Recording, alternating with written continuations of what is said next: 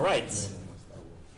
Now I've finally gotten Inventor 2017 here, so uh, I can start showing you exactly what you're going to do in the drawings.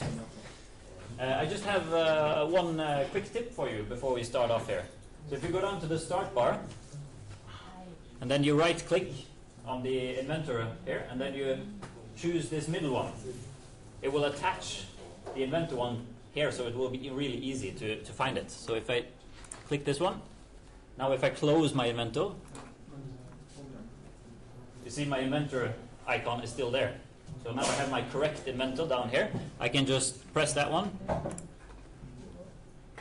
and I will start up the correct inventor, since you both have 2015 and 2017 on your computers. And your, your user will remember this on the different computers. So every time you start up a new computer, you will have to do this. But if you sit at the same computer most of the time, it's going to remember it for each time if you've done this. So it's a nice way to, to, uh, to get it done. We'll our friends is there. so we'll see if, uh, if the new inventor manages to find my projects here. And it actually does. That's good. So we were doing practice task one, and we were had just started doing the drawings for it. So I'm going to activate. I'm activating my practice task one here since it has gone back to the, the default uh, one, the new installation. Yours is probably still on practice task one, but it might be wise to just check if it's uh, on that one.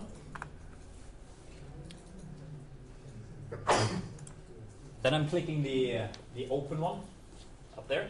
So I'm going to try to find the plate IDW file.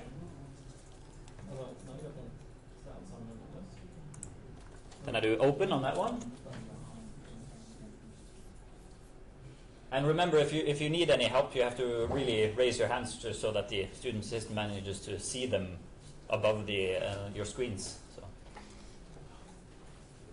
So now we have what we started off with. We managed to put the, the base view and the projected view in last time. So now we'll start looking at, uh, at uh, putting more dimensions on it, basically.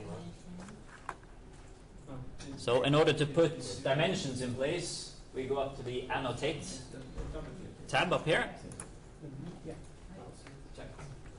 And then we have the general dimension that we're going to set in.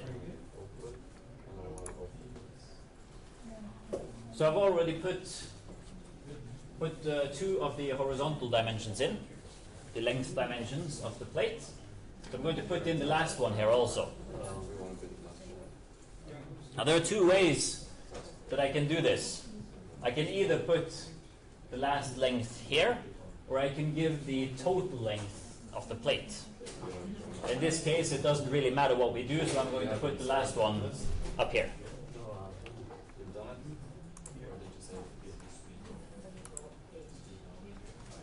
So I've clicked this line, and then I've clicked this line in order to get it, and I see that I have 60.00. I don't want that one, so I go up to the formatting, and I choose method 1B for it.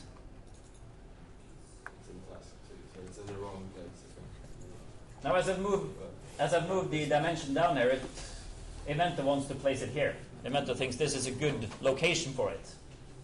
But I want it to be in line with these other dimensions.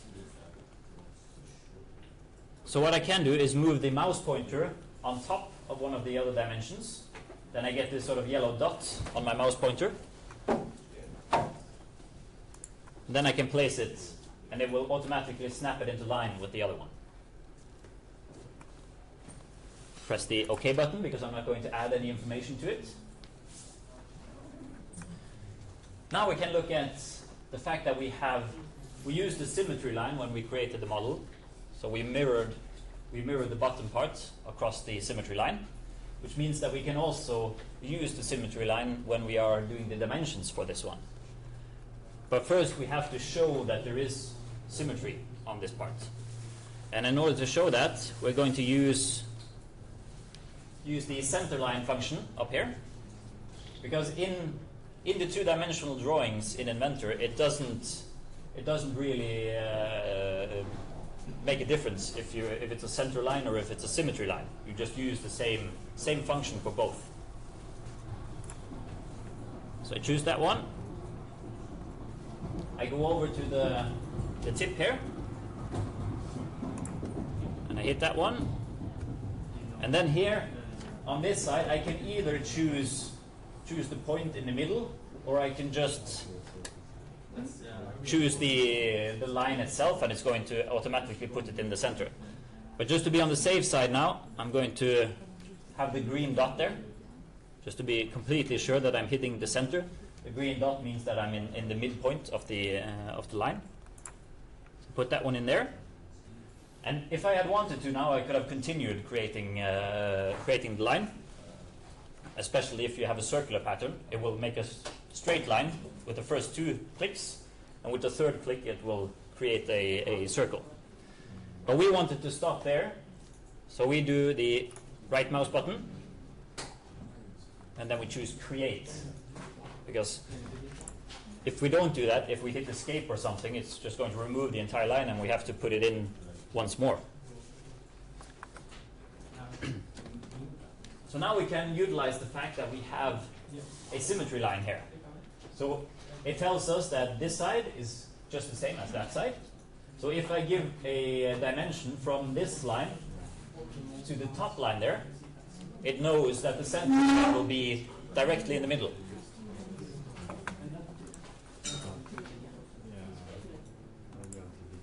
So I choose the top line with regular dimension. Then I choose the bottom line.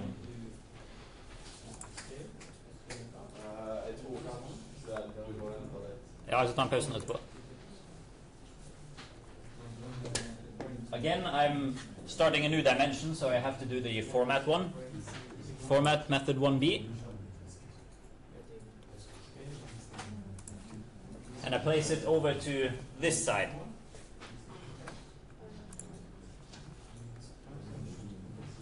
Then I'll just let people catch up a bit.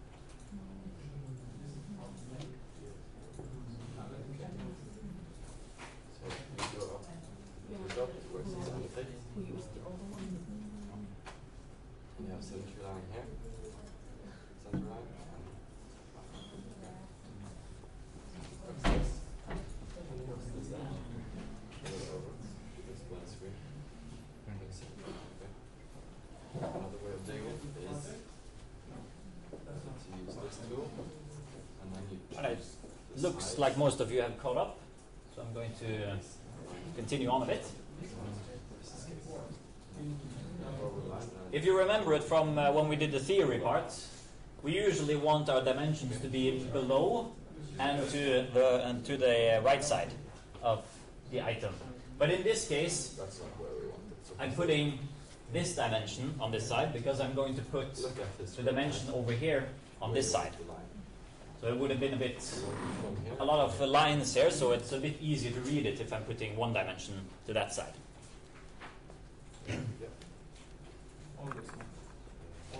So I'm going to use the same uh, same uh, method as I used on the previous one. I'm going to give the dimension across here, and I can give the entire length because the center line will be placed in the middle. So I use the dimension function. I choose the top line there. I go down to the bottom line, click that one. And again, I started a new dimension function. So now it's 0.00. I don't want that one. Up to format.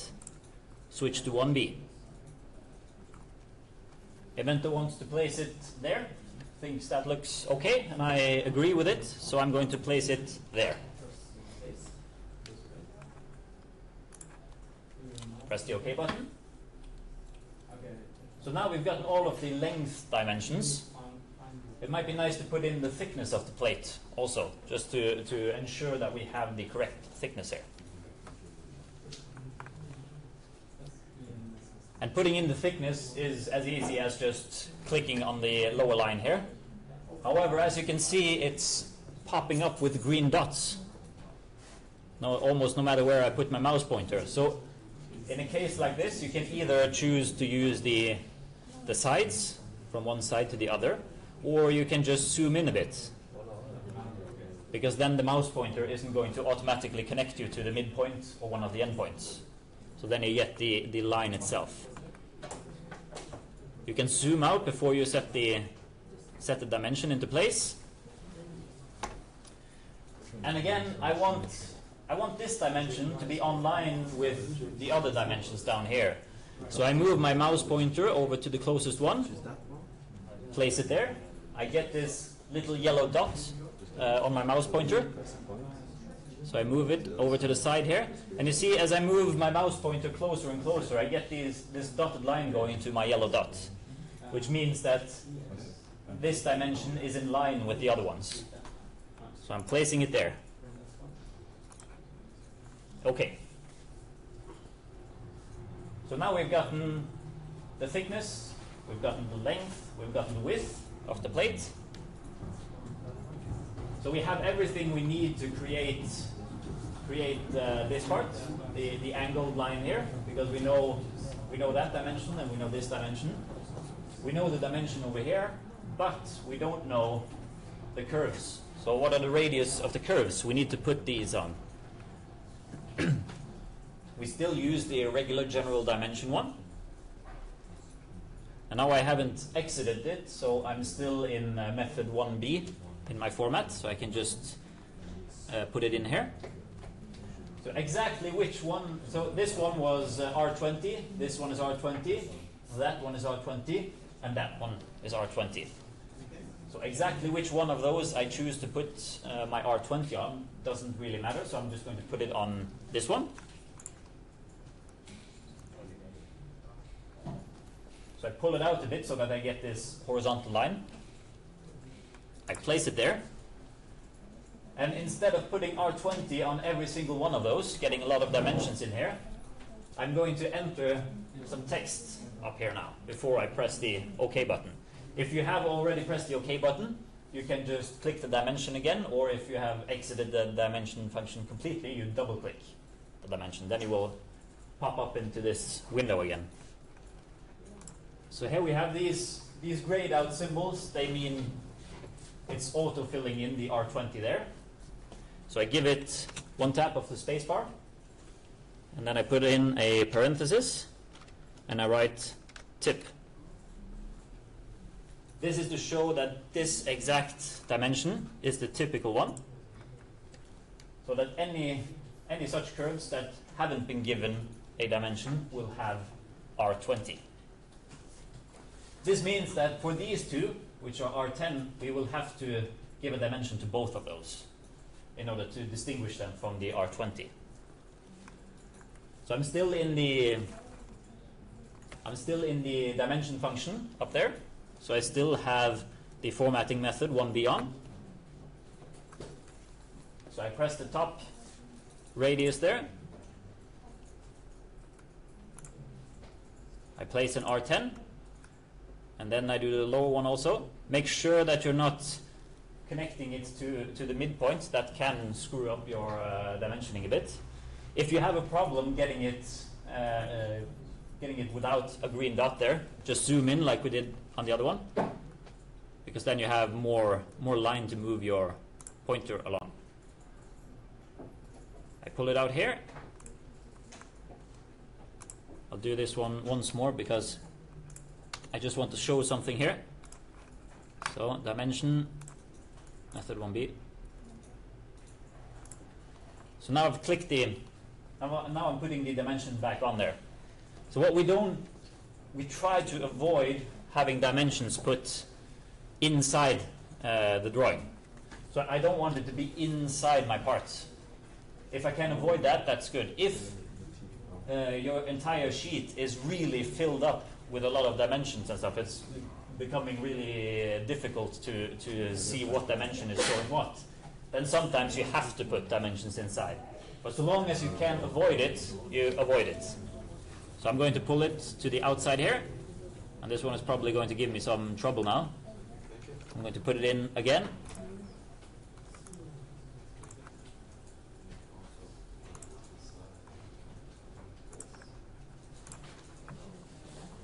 So there, now I can just zoom out to show everything.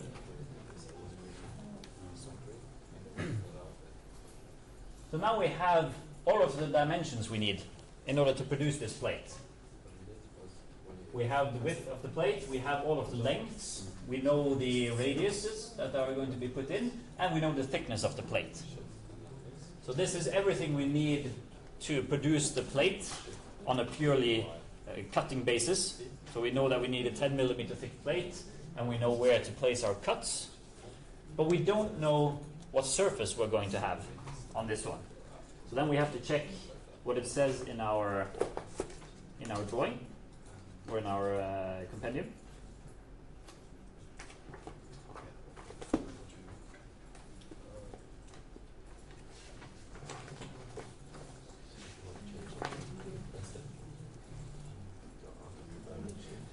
So first off, there is also one more thing that we're missing. We don't know what material we're supposed to uh, create this one from. So we're going to put in a a table to show what material it is. What we are going to do now basically is we're going to do the parts list, which we usually use for assemblies, and then we're going to modify it so that it's only showing the information about the material. Because here we only have one part, we don't have several parts to show.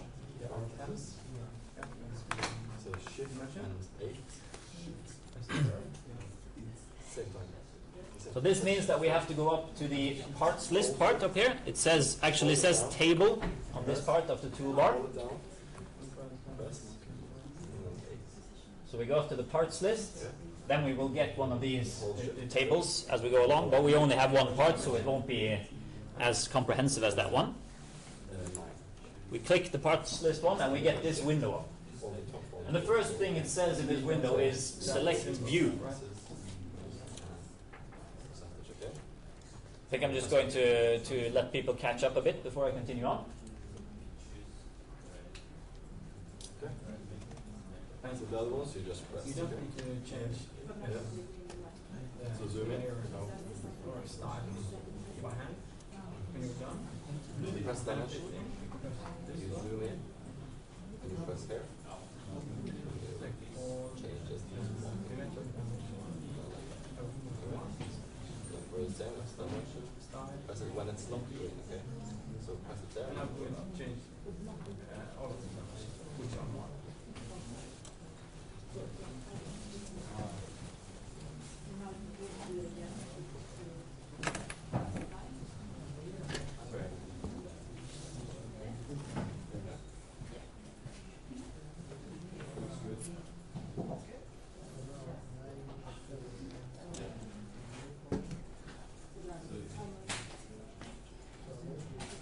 Okay, so we'll move on a bit. We've got this parts list window up now, and it wants me to, to select a view. It says up here, this one is marked in blue right now, and it has a red mouse pointer. And we should know by now that if we have a red mouse pointer, we need to select something so that it turns white, or else the, uh, nothing is going to happen. So what it basically wants us to do is to select the base view. It doesn't necessarily have to be the base view, we can also choose the projected view, but one of the views that we have on here. Because if you're creating very complicated uh, drawings, when you're an advanced user basically, you might have several different views in that are from different part files or different assembly files.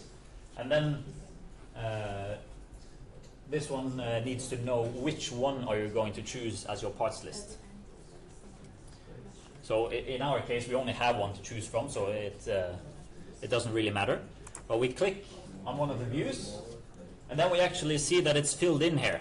So it's filled in the H location, lecture, practice task one, plate.ipt. So now it's, it's selected our part file, and it's going to use that one as a basis for the uh, parts list.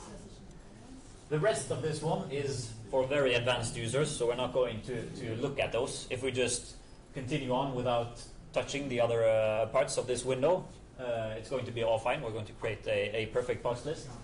But uh, these are more for very advanced users to customize uh, the lists as you put it in. So we press OK. Now I've got this triangle following my mouse pointer around. No, tri- this rectangle following my mouse pointer around.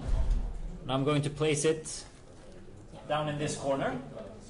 It doesn't doesn't matter if it's uh, touching my dimensions right now. That's not a problem. It's going to it's going to end up uh, as a smaller rectangle uh, as we go along. So I'm placing it in here. And now we see we have a bit too much uh, information here. Actually, we don't have the information we want at all. Because it's telling me the item number. This is the first item in this uh, part. It's the only item also. It's one in quantity, so we only have one of them. It's a named plate, and I haven't filled in any uh, information for description. But it doesn't say anything about the parts, uh, about the material of the part here. So I need to do something about it. So I keep it marked red like this by holding my mouse pointer on top of it. I double click, and I'm opening up this window. So the first thing I'm going to do is I'm going to remove the title here, which says parts list. Det är den du ska bruka. I det då. So then I go up here to table layout. I click that one. And we see that I have a checkbox with the title. So if I uncheck that one, it's going to remove the parts list uh, title from the, from the table. So when I press OK now, we've done with that. It doesn't update uh, this parts list until I press the apply button. But we're going to do something more here. So we're going up to up to this one, column chooser. I press that one. And here are the different columns of the table. And as you can see, I have item, quantity, part number, and description. Those are already chosen for my table. I don't want any of those in there. So I'm going to mark one of them, click remove. And I'm going to remove the next one, and remove the third, and remove the fourth. I don't need any of those in this case.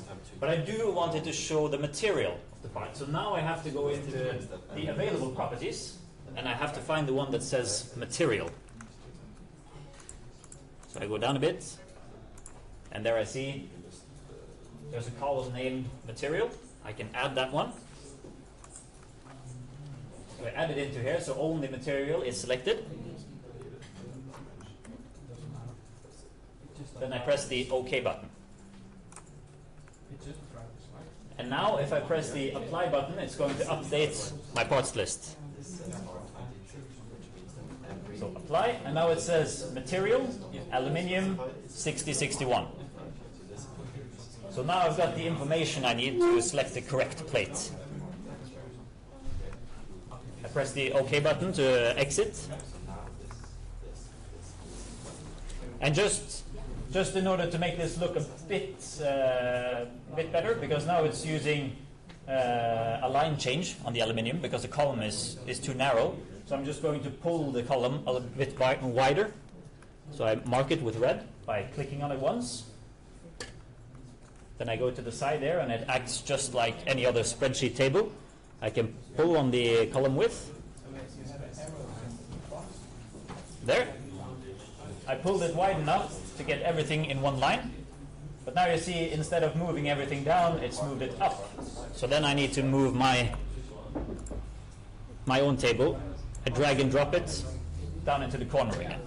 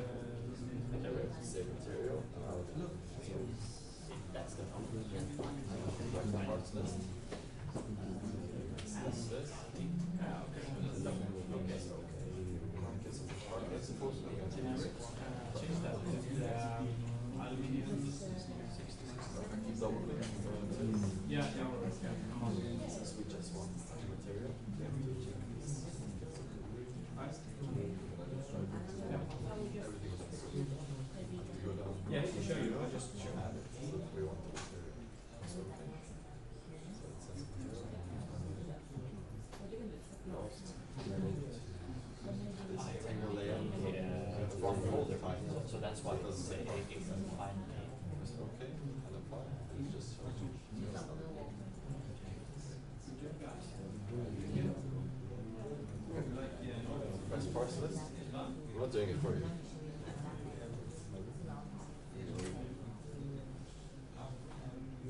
Have to choose. Yeah, Just pressed it. To look for it. To the right. Left. To the right. Right.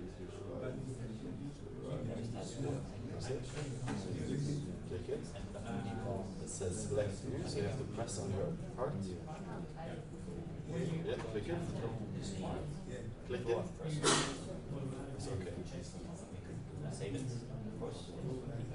It's okay. I have to put it where I told you. Then you have to double click the parts list. Double click the parts list. Choose the le- uh, upper left one. All the way to the left. All the way to the left. Yeah. Yeah, now you see all the uh, column question marks choose that is it. here. Compress it. We want to remove all this. stop. It. One of those. It says press to remove. Yeah, now you can see it.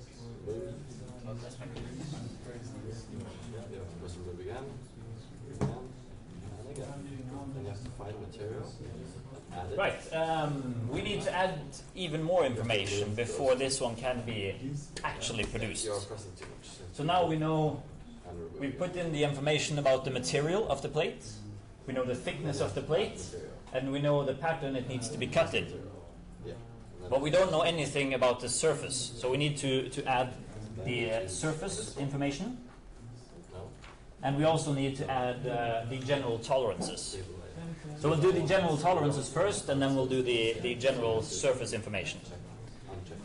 So the general tolerances is basically that we're just going to put in some text on top of here, which tells which ISO standard you're going to follow, and if it's medium or fine or coarse, uh, that it's going to be followed. So we're going to put this information in here. Uh, and the way to do that is to choose the text function. So now that's material, aluminum. And the text function, function will create just text. It won't put it in a box like the uh, material table uh, is put in. It will just create text so that we can move it around afterwards and anything. So we place it approximately in the correct location. We can move it easily afterwards. So if you if you placed it up here, uh, it doesn't really matter because we'll just move it after we've put in the text. I'll just uh, wait a minute for people to catch up. So go first.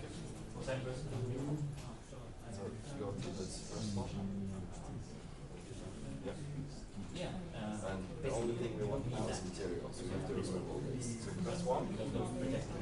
No, press one. And then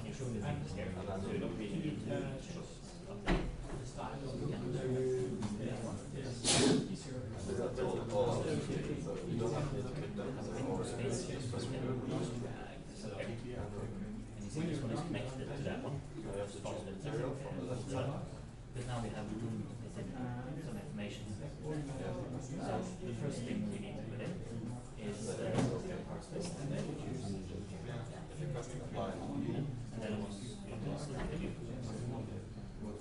So you material out. That's not what you want. You just the material. So you have to go to the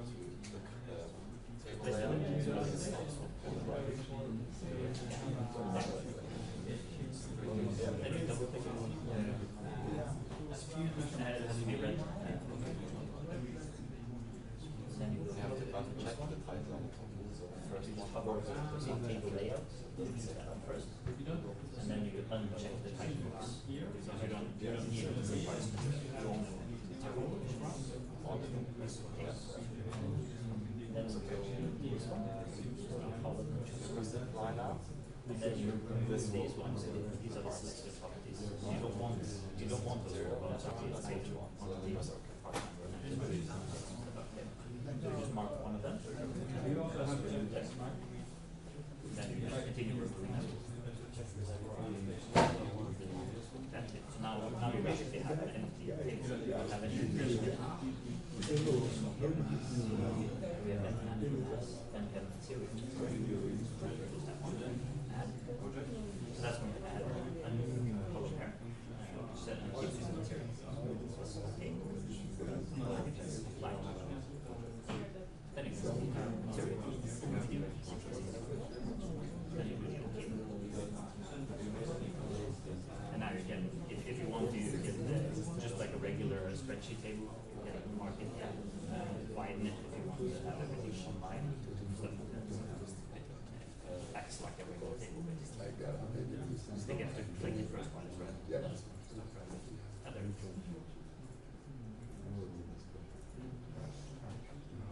And uh, now you're going to start using text box because we're going to add, add more information. So that's how they, uh, take it out.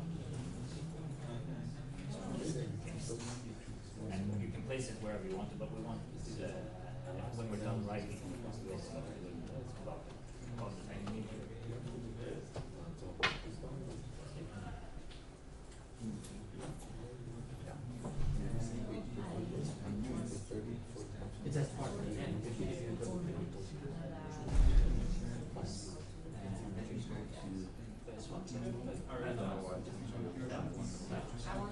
and then you uncheck height. Because then it doesn't show this, and then just okay. Okay, um, the problem is that, uh, there's no other projects. Now you're working with one, and the other ticket is or three or four. Then you close that window, and we, uh, the new project.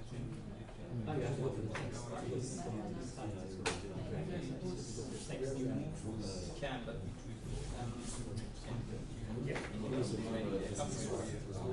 Yeah, was the- change it. Uh, if you want to have this, uh, Yeah.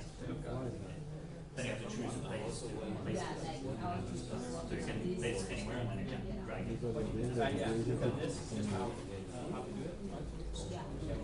Uh, you say choose. Alright, so we'll put in the note about the general tolerances and the surface roughness. Uh, and then we're closing in on the break, I think. So, uh, what we need here, so we'll have to check our compendium for, for the information. So, we're going to add the text general tolerance and surface finish, like this. Then we press the enter button to get the new line there. The tolerance standard that we're going to use is the ISO 27681.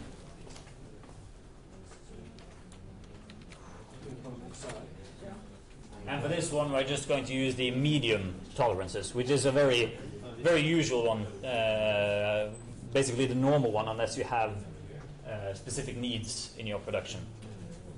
So, unless you have something uh, very specific for your tolerances, that it needs to be extra fine, or you can allow it to be very, very coarse, then you use the medium one usually.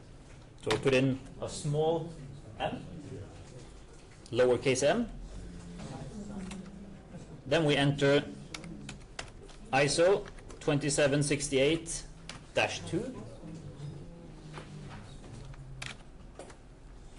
And we'll use a capital K for that one, which is the equivalent to the medium one.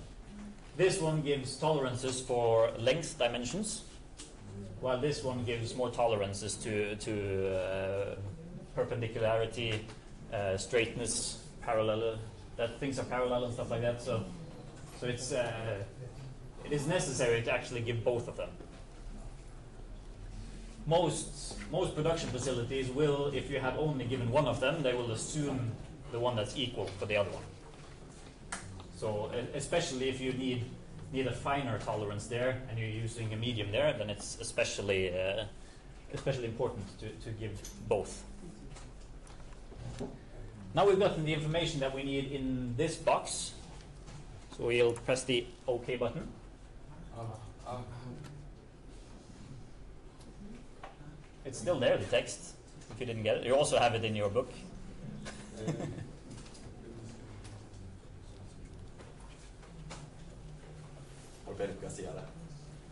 Uh, page 187 in your book. That's where all the text is.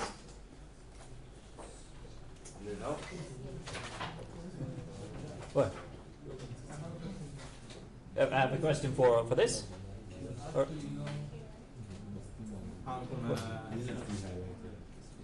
oh, yeah, you'll have to wait for the break. We're not done uh, yet.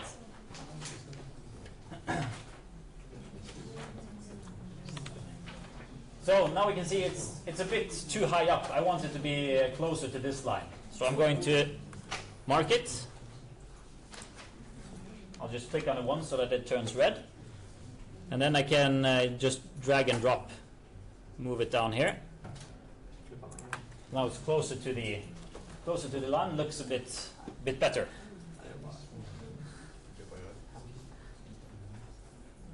So before we do a break, we're also going to put in the uh, general surface finish. And then we need to go up to the symbols part up here. Just going to remove it. The symbols. And here we have the surface texture symbols. So we click this one. And as you can see above my mouse pointer here, there is sort of a, a looks like a check mark.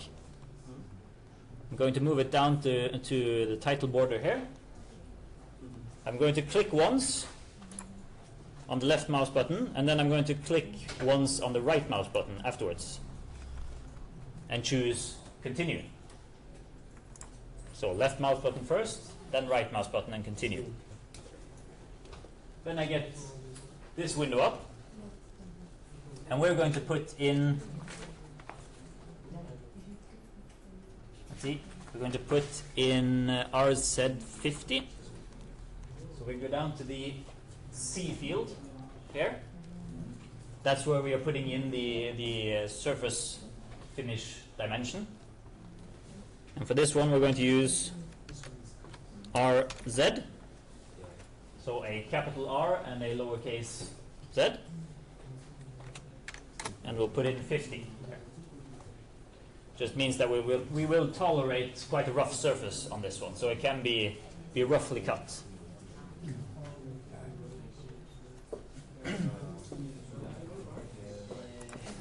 and we want to choose, shouldn't have a, we want to choose the middle option here on the surface type. And if I put my mouse pointer above it, it says removal of material required. So it means that they have to they have to uh, manufacture this surface. So they have to do something with it.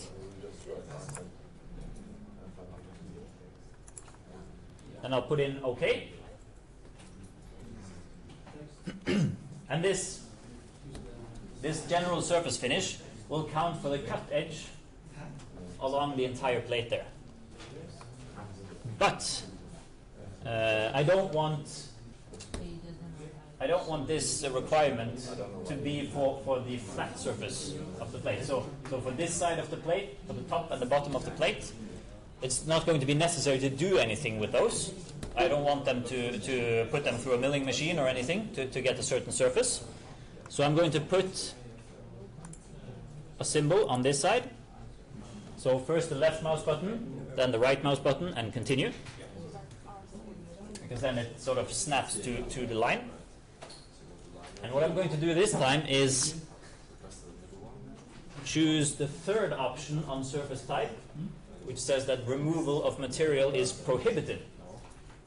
So this means that they are going to not do anything with that surface. So they're just going to let it be as it is.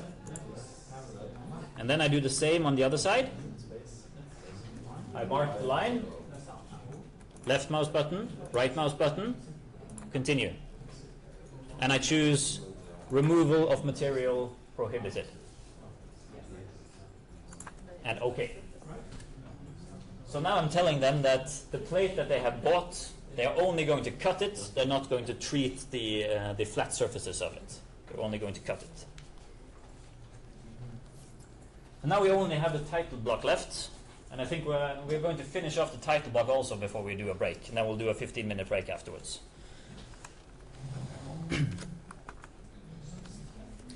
so when you're done doing the surface uh, symbol, you either click the escape button or right click and uh, use the exit option. And now we're going to, to fix the information inside the title box. So we're going to we're going to go into the uh, the tree here, where we have the uh, different parts of the drawing listed, and you see the the ISO one. If this one is open, if it isn't open, you just click this arrow. You want to go down to the one that's named field text. We're going to edit that one. So you mark it, then you right click it, and you choose edit field text.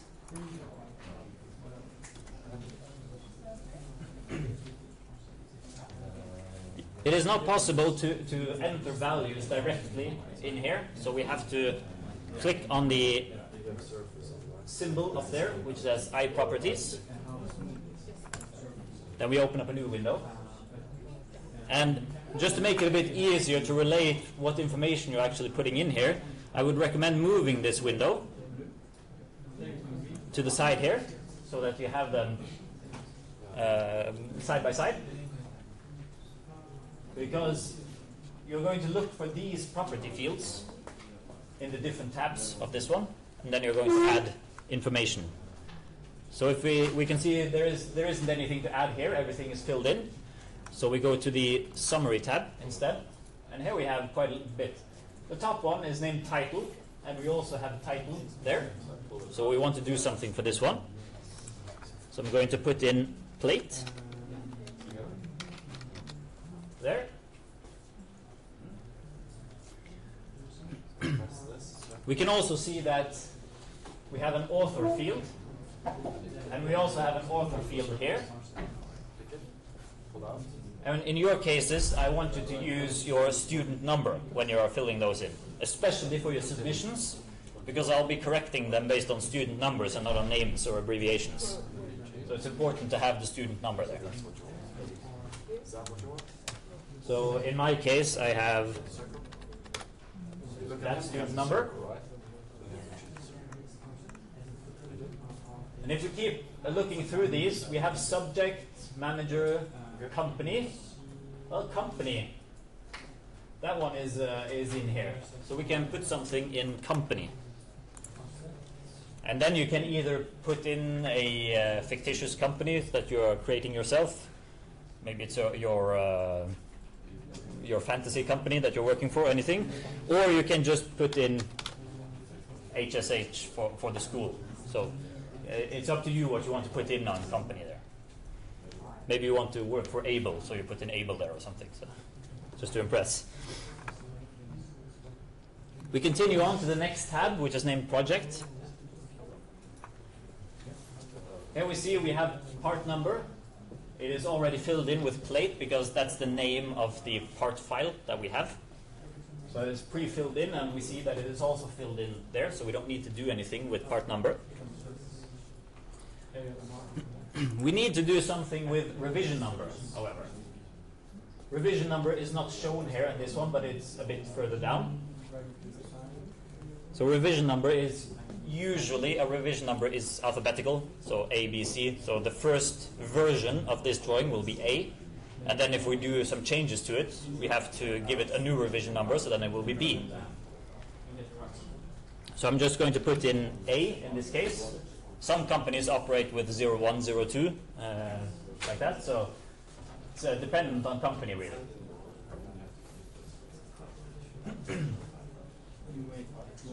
Then none of the rest that are on this side are shown in the title field, so we continue on to the status tab. And here we will find some because we have we have checked by, which is also shown here, checked by, and we have engineer approved by. So we have to fill in those two. So in this case, I'm just going to put in Torbjörn as my checker. And I'm going to put in Einar as my approver. And then we also just check the dates because I can't quite remember which of them. I think it's the approval one that uses a date. The that's where he right? And then when we're done filling in here, we press the uh, use button or apply or whatever it's uh, called. And you have to do or read in your book, right? So what do you want to put in? And then uh, when we click the close button, this one will update. Now you see I have I've got my uh, my student number as the author, and I have Torbjörn checking and Einar approving. So I click OK, and we have all of the information put into here. We have my student number down here. We have Torbjörn checking. We have Einar approving. We have the creation date. We also have the approval date. We have the name. We have the company. We have the revision. And we have the uh, number of sheets. So now we are missing one more thing before this drawing is completely finished. We're going to do one more text box. If I go up to text up there. And this one can be placed almost wherever you want, so I'm going to place it somewhere down here. And I'm going to name this one Notes. because this is where you will give any special notes to, to the production uh, uh, facility. Such as if you if you want them to use a, a laser cutter instead of a water jet, you can specify it. You can write specifically what they're going to do down here. The only thing that we are going to uh, specify here, we have one note. So note number one, it is that they are going to break sharp edges, and they're going to break them with 0.2 times 45, and then we have over here we have a degree symbol, so we can can click that one with the uh, with the mouse pointer, and we get a degree symbol in here. So they're going to break sharp edges with 0.2 millimeters at a 45 degree angle.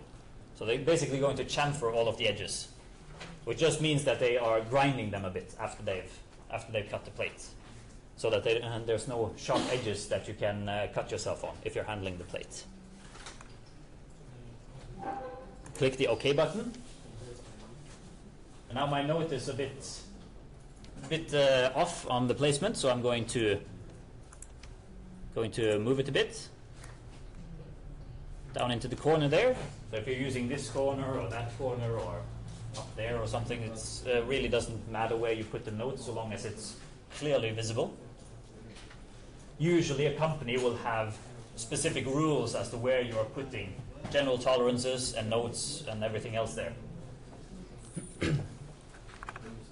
The last thing we'll do is to press the save button.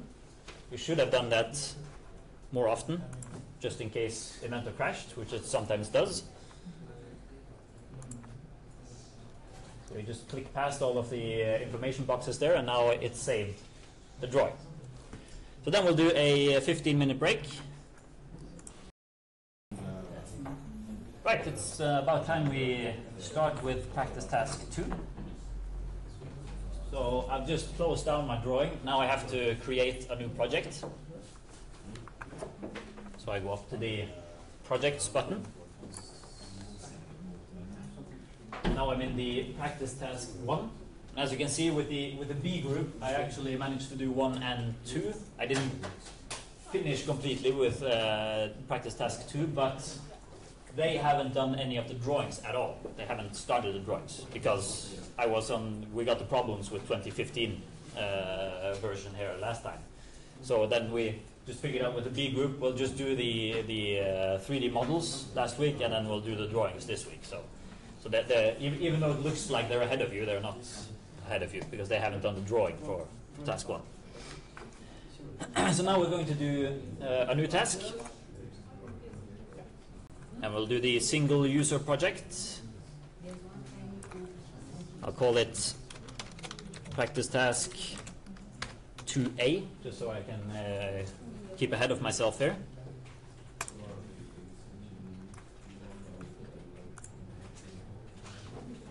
Oops, uh, I forgot something. I of course have to choose the correct path for it. I go to the my computer and I choose the H server.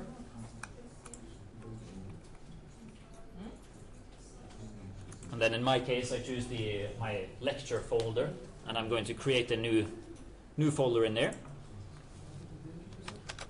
So I'm going to call it practice task 2A. And then again, the problem with it not actually choosing the new folder I've, uh, I've created. So I have to click a bit back and forth here. So I want it to go to 2A. So now it says practice task 2A here. So press OK there. Then I do the finish. And I got my practice task 2A with the check mark beside it. So that's the active project right now. And I press the done button. So for this one, we're also going to create a plate, but now we're going to also use some other functions than just uh, creating a sketch and extruding the plate. We're also going to create holes afterwards. So I go up to the new button there, and I have to choose the, the metric folder so that I can get the correct correct file type. And I want the standard in millimeters. standard millimeters dot ipt. Create.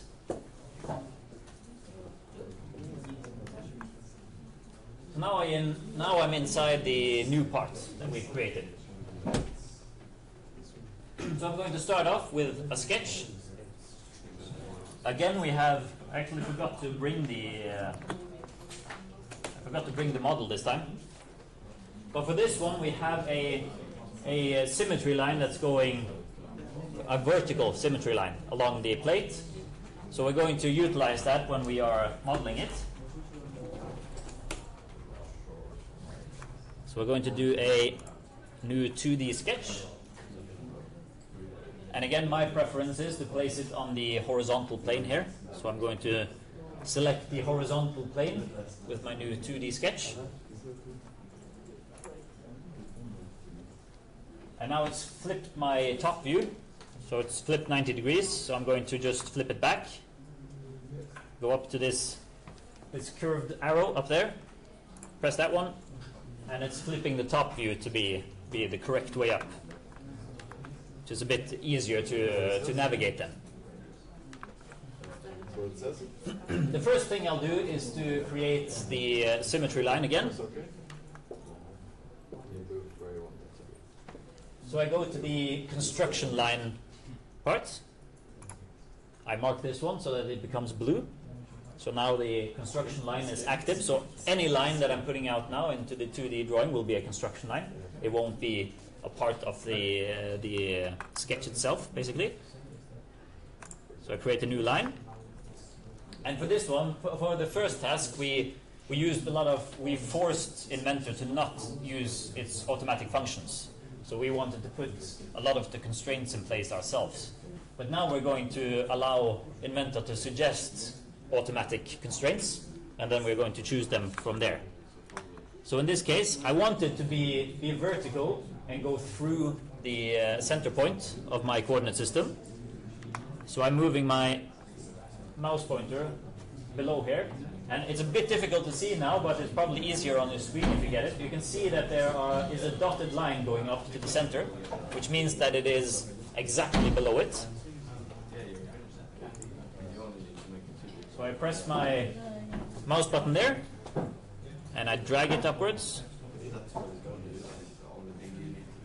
And now that I've placed my mouse pointer directly above the center point, we can see that it's it's showing one of the auto constraints symbols here, or one of the constraint symbols. It's the same one as you can find up there in constraints. It's the middle one all over to the right, which is the vertical constraint. So it's constraining it to become completely vertical. And if I move my mouse pointer to the side here, that symbol disappears. And then it's making uh, the line at an angle, but I want it to automatically place this vertical constraint in there so that I don't have to do it manually afterwards. So if I just push my mouse button now, then this one is locked in to being a vertical line. I don't want to create more lines right now, so I exit the line function. Yeah. And I definitely don't want to create more construction lines, so I'm going to remove the marking on the construction line function. Remove that one. So now it's not blue anymore. There is one more thing that I want to do with the symmetry line before I uh, before I start uh, creating the regular lines. I want the center point of the line itself to be locked on to the center point of the uh, uh, coordinate system. So I choose this coincident constraint, which locks one point to another. I put my mouse pointer onto the symmetry line so that it turns white. Then I move it downwards, and what I'm looking for is the green dot. There is the green dot. So it was almost in the middle already. It also says middle point if I just let it hover there for a while. So I press the middle point. That's the middle point of the line. And then I move to the origo, the center of the uh, coordinate system, and I press that one also. So now the line has been moved onto the origo. I uh, press OK there, so I exit the coincident constraint. So now we're going to do more lines up here. Make sure that you've you've removed the construction line option before you start creating more lines. So we'll start off with the bottom of the plate. So I'm setting, attaching it here, and I'm going to move it over to the side here. As long as I keep it at an angle, you can see that it's not doing anything uh, in particular to it. But if I move it more down to a horizontal position, then Inventor is basically telling me I'm going to put this as a horizontal constraint because it looks like you want it to be horizontal, and we want that, so we're going to uh, we're going to choose that one. But we also want it to be a specific length. So now we're going to manipulate length here. So the, the total width of the plate is supposed to be 210 millimeters. But we're doing one, one side of the uh, plate right now. So we need half. So we write in 210. And then we divide by 2. And then, then you can see here, if I just put in the divisor line, it turns red, which means that it's not going to do anything until you, uh, until you finish it. So divide by 2. Now it's black again, so now it uh, now I can actually perform the calculation. If I now press the enter button, I get a horizontal line that is exactly 105 millimeters. and it wants me to continue with the next line, which is uh, all fine by me. But I don't want it to continue on horizontally. I want it to go straight up. So I move my line upwards until I get to this point. Now Inventor says that if you want to place the line here, it looks like you want it to be at a 90 degree angle from the previous line. That's what we want. Some of you might get it uh, telling you that it wants to put it as a vertical line. That's not a problem either. It will do, do the same effect in this case.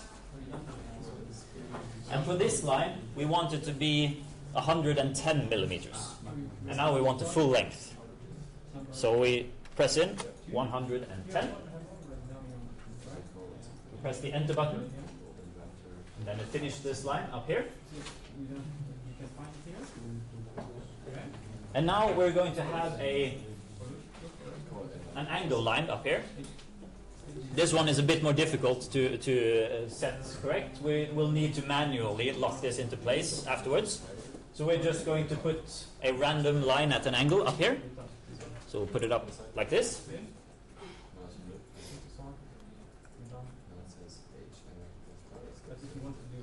The next line, we want to go horizontally again.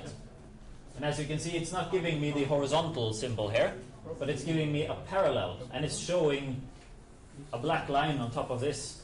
So it's telling me that I'm going to put it parallel to that line. And that's okay. We wanted to do that. And we also want a specific length of this line. The length of this line is supposed to be 40 millimeters. So we put in 40. Press the enter button. So then we've already locked this one in to be parallel with this one and 40. So the only thing that's going to change here is when we lock this one into place, it's going to move a little bit, but that's okay.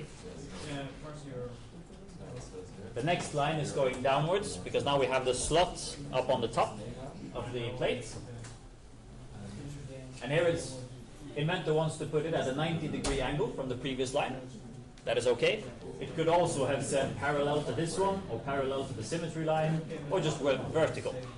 Any one of those options is completely okay to use. And this one is supposed to be 30 millimeters. So I put in 30 millimeters, press enter. And now the last line will go horizontal and over to the the um, uh, the, the symmetry line. And it's supposed to be so I'm just going to pull it over here and we see that Inventor wants to do it at a 90 degree angle from the previous line. Completely okay. And the width of the slot up here is supposed to be 30 millimeters, but that's across the symmetry line. So we need half. So 30 divided by 2. We press enter. And now we're done creating new lines. So we can either use the right mouse button and click OK or use the escape button on the on the keyboard. Just zoom in a bit here to, see it a bit better. So we can see here I'm not connected to the symmetry line up top, so I'm going to have to do that manually. In order to connect it, I use the coincident constraint. I mark the endpoint of this top line, and then I mark the symmetry line itself. Once I hit this one, it is moved over here.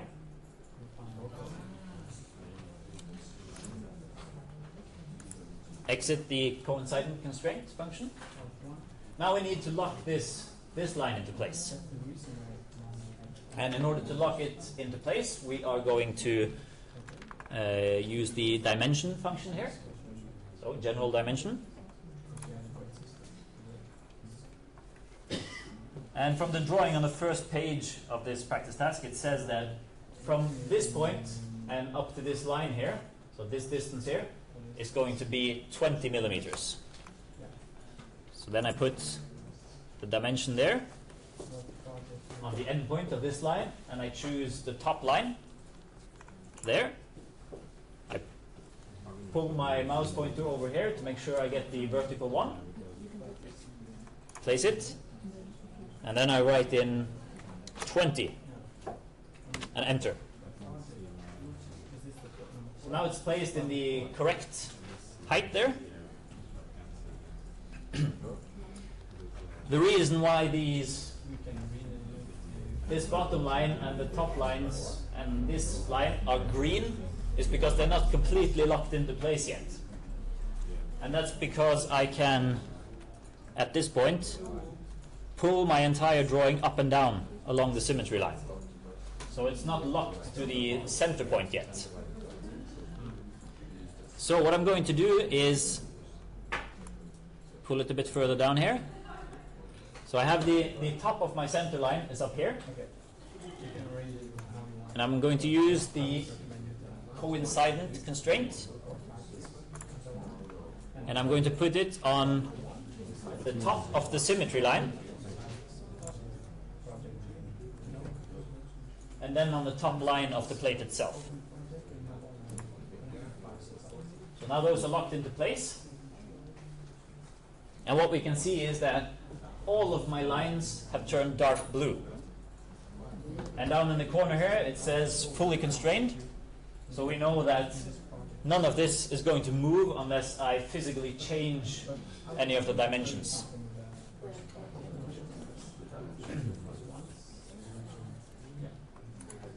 So I exit the constraint there.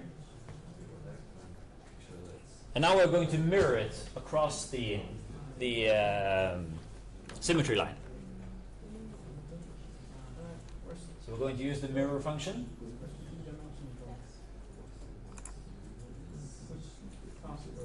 And first off, we have to select the lines that we are going to mirror. And then we have to select the symmetry line as the mirror line afterwards. So I'm going to use the drag and drop option here. But make sure that when you're doing the drag and drop, make sure that you're not covering the symmetry line. So put it over here. And now you can see that these are marked with a bright blue, while these are still dark blue. So I have to choose those manually because they weren't completely covered by my selection box. Now I have to choose the symmetry line as my mirror line.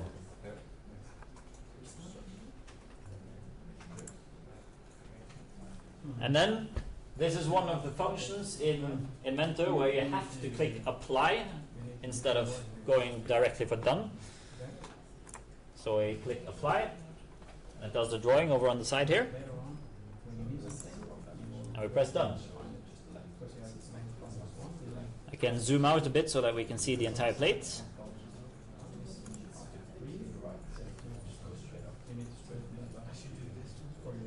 So now we've created the outline of the plate. I'm just going to let people catch up a bit before we extrude it.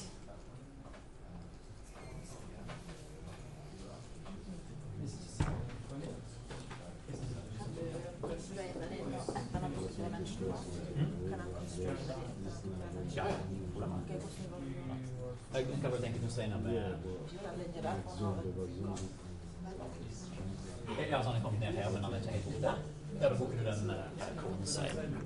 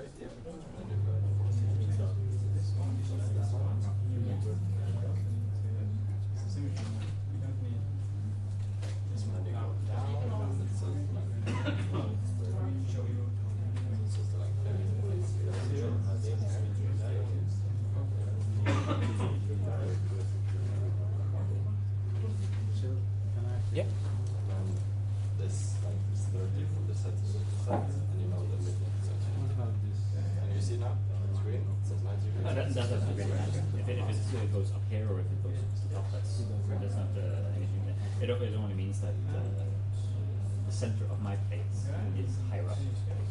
So mine is my entire plate is lower down compared to the center of the plate.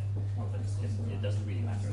You, you could have had, uh, you could have started off at the center point, created the plate this way, and had the center point as a coordinate system uh, the. It is often wise to try to place it in the center there because it makes it a lot easier to do uh, when you're out in the, the 3D model.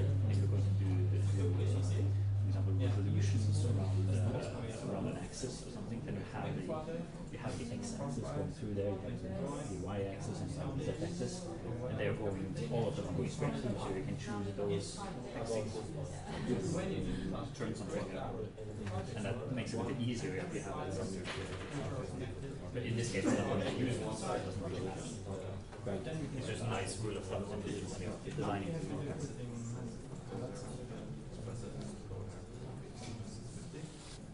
And you put this one, that's it. So you know that from the side it's twenty, and then fifty is twenty. Alright, the next step then is to finish our sketch and we're going to extrude it to the correct thickness.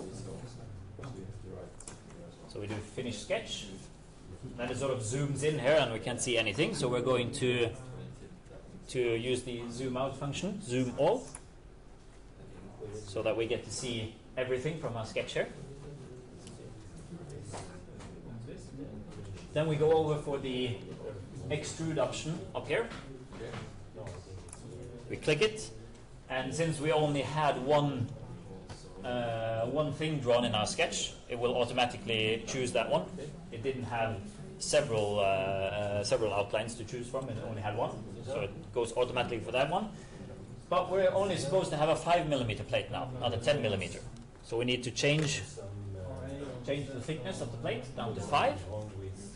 We press enter.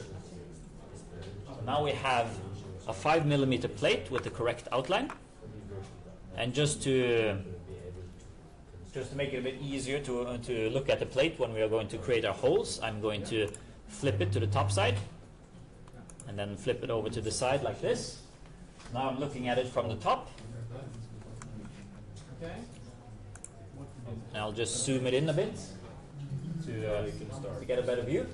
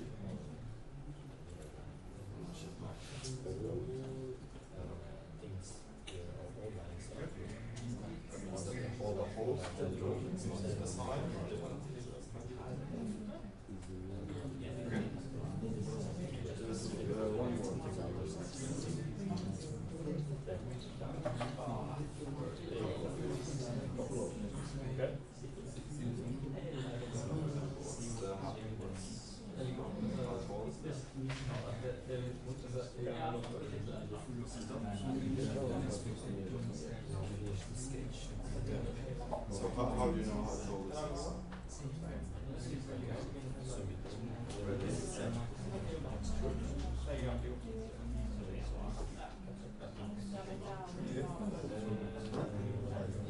My question is, from this to this, how far? You need to know this, right? It's gonna make it, but how far?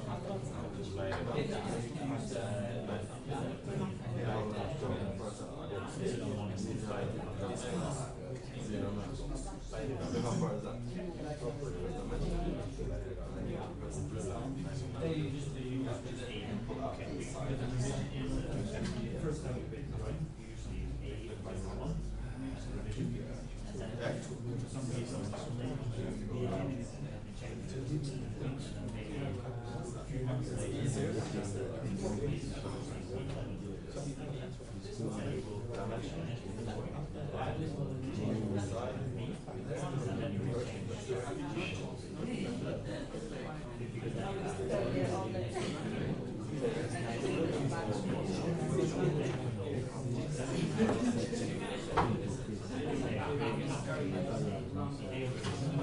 No, I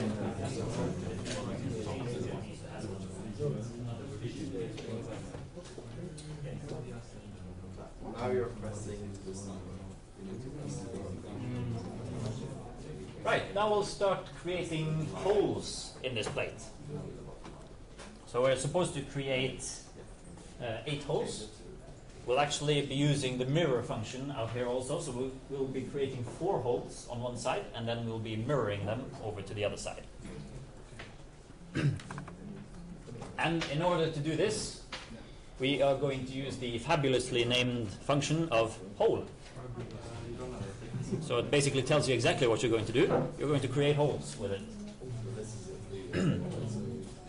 what you can do beforehand, if you want to, is to create a two-dimensional sketch on top of your part and place points exactly where the centers of the holes are supposed to be. Or we can use the function directly like this. The, the different placement parts here is, here you have the, the top one is from sketch, which is if you already have drawn a sketch to place your holes. You can use the linear one, which is the one we are going to use this one, on this one. You also have concentric, uh, which means that it will place it uh, on an axis of another uh, circular uh, feature. Or if you have placed a point directly. We're not going to use that one uh, at all, but we're going to use concentric and linear. Uh, I can't remember if we're going to use from sketch on any of them, but that one is also pretty easy to use. So in this case, we're going to use linear because we have the dimensions between all of the holes. So the first thing it asks us to do is select the face, and that is the surface that we want to, to work from. So we want to work from this surface, this face of the of the 3D part. I'm going to tilt the part a bit just to be able to show it a bit better. the second thing it wants us uh, to put is a reference. And then we're going to choose choose a line as the reference. So I'm choosing the bottom part of the plate right now as the first reference. And then it wants me to put in a dimension here. So the height from the bottom part of the plate and up to the center of the first hole is given to be 20 millimeters. So I'm putting in 20 there. Oops, I wasn't supposed to do that. Linear face on that one. And then 20 there. Uh, you, you must not press the enter button or anything here. You just choose the next reference. So you see this one has turned blue now, so now it wants us to choose the, the second reference. And then we'll just do, do the outer edge of the plate. And I have to give the distance from this edge and to the center of, of the first hole. And that distance is also 20. So I'm putting in 20 there also. So now it's moved it into the corner here, this hole. Now I need to give information about the hole itself. So we have a couple of uh, different options up here. Those that are up here. And basically it is a straight hole, which is the top one. And then it is one with a counter bore, which means that the start diameter of the hole is bigger than the rest of the hole. So that you could, for an example, fit, uh, uh, fit the head of a bolt into the top of the hole, and then uh, the rest of the bolt going further down. Uh, the same uh, for the next one, it's called a spot face, which is if you have a curved surface, you will do the same, where you will create a wider dimension hole at the top, just to get a, a smooth surface for, for the head of the bolt to lie against. And then you have the countersunk option, which is if you have uh, a, a bolt head which is, uh, has a 90 degree angle uh, on it, so that it is, it is, uh, has angled sides. We're just creating regular holes, so we're choosing one up top. We're also going to use uh, the termination here, which says through all, because that means it's going all the way through the plate. If, if this was a hole that was supposed to just go two millimeters into the plate, we would have chosen, chosen distance and then set, uh, set how deep it was going to be. But this one is going through the entire plate. And then we have the diameter of the hole. And the diameter is set to, well, actually, in the first drawing you have in your practice task, it says a radius of 10. So what we can do is do 10 multiplied with 2.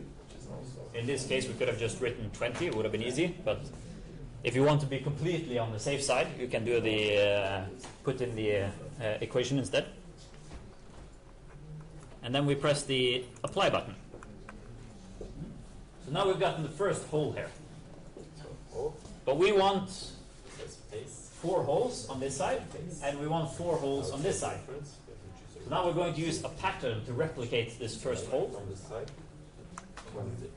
So we're going to go to the the uh, pattern part of the toolbar up here.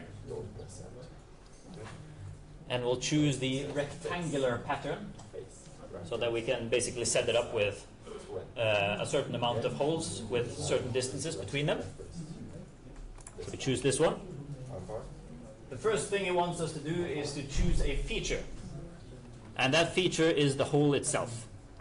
So you can either mark the hole like this, or you can go over to the, the browser tree over here and mark the hole there. Look at it.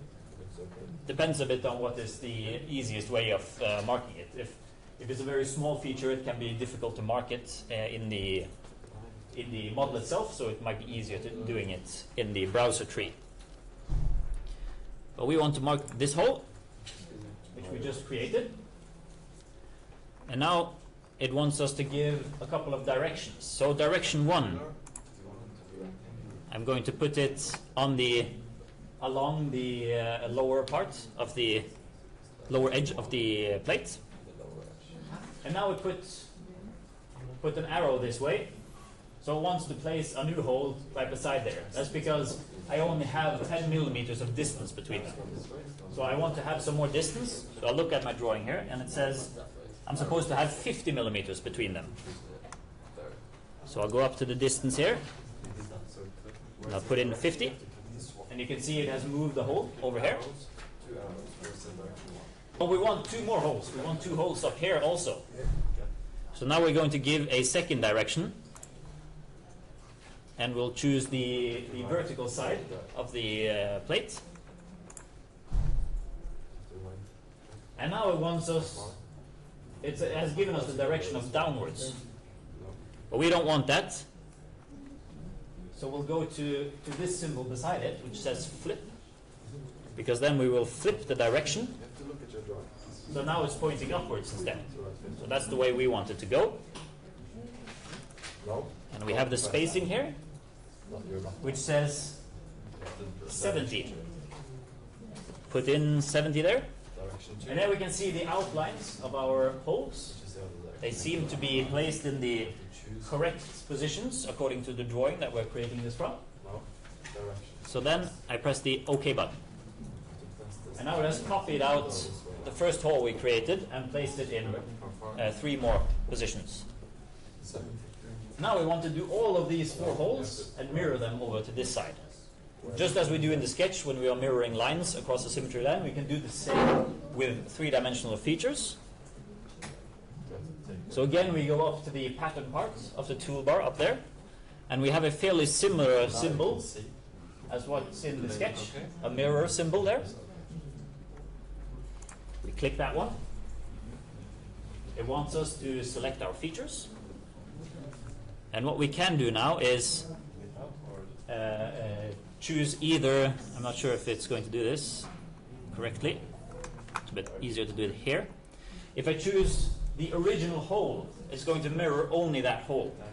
But if I choose the rectangular pattern, it usually wants to do all of them. So if I move it over here, as you can see here, it's marking all, all four holes. And we can also see in the browser tree now that both hole 1 and the rectangular pattern has become blue. And now we need, instead of a mirror line, we need a mirror plane. So we're going to, to mirror it across the plane. Just going to mark this one so that I can choose a plane. But I don't have any planes to, to look at here. It is possible to choose, uh, for an example, an edge like this one. So I can choose this edge and mirror it across that edge. But this edge isn't in the center of my plate. And I want to mirror it across the center. But since I have located my sketch directly onto the center of the coordinate system, I can use the YZ plane because that one is going straight through my plate here. So I need to go over to the browser browser tree here, where I see the origin folder. I open up the origin folder, and here you can see I have three planes and I have three axes. And all of them are grayed. Uh, the, the icon for each of them is grayed out. And that's why you can't see them, because they have been made invisible uh, in my part here. But if I hover my mouse across them, it's going to show them inside my uh, 3D parts. So in this case, I got the correct one uh, right away, the YZ plane, which is going straight through there. But I can just show the other ones. Here is the XZ plane, which is the one I used to, to create the original sketch on. And we have the XY plane that goes through here. But we want to mirror it across to this side, so we need to have the top one, the YZ plane, which didn't want to show for some reason. There. We want to mirror it across this one. It goes straight through the center of our uh, plate. So we choose that one. And then it does the outline of the holes on the other side, so we can check that this is correct. We press OK. And then we have all eight holes in our plate. But we only used we only created one hole specifically, and we have used patterns to, to recreate the rest of the holes. And for, for this part, it would most likely not really matter much if you created all eight holes individually, or if you created one and then used use these two pattern types on them. But when you are getting into large plates, maybe you are going to put in 80 holes in a plate, then these pattern functions are perfect to use. It's going to save you a lot of time uh, to learn to use these. So then we're done for today. We won't get the chance to start on the drawing for this one, but we'll do that next week.